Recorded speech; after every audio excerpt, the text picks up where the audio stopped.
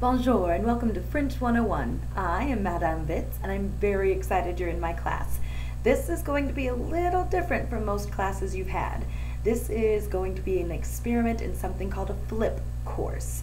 This means most of your lectures will be done seeing my face on your computer, studying the video, doing the homework I assign, then talking about it in class and practicing in class.